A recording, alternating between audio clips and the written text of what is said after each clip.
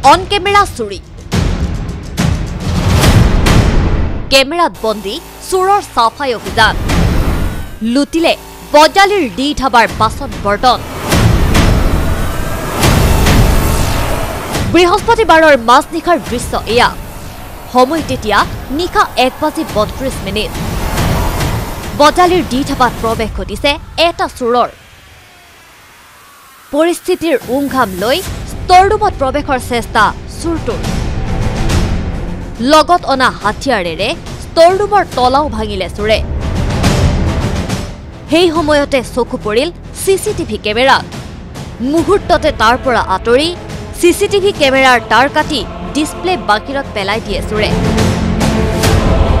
তাৰ পাছতে চোৰ সোমাল ষ্টৰ ৰুমত পাছে বেচেৰাৰ ভাগ্য সুপ্ৰসন্ন আছিল।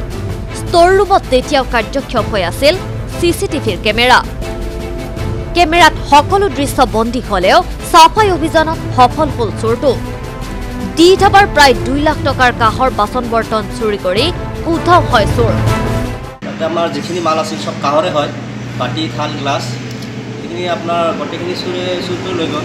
এতিয়া আমি আহি চালোঁ পুৱা। এতিয়া আমাৰ তালাটো ভাঙা আছিল। আমি যাই সময় চালোঁ। আমাৰ চি চি কেমেৰাবিলাক চাৰ চব কাটি থৈ গ'ল। আমাৰ বস্তু যিখিনি আছিল চব লৈ গ'ল ইয়াৰ পৰা। ইতিমধ্যে চি চি টিভিত বন্দী ফুটেজৰ ভিত্তিত ভৱানীপুৰ আৰক্ষীয়ে আৰম্ভ কৰিছে তদন্ত। অচিৰেই চোৰটো জালত পৰিব বুলি আশাবাদী ধাবা কৰ্তৃপক্ষ। বজালিৰ পৰা গৌতম দাসৰ report N D twenty four.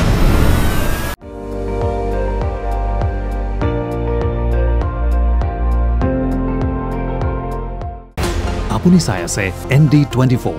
সৰ্বশ্ৰেষ্ঠ নহয় সৰ্বোত্তমৰ দৌৰত।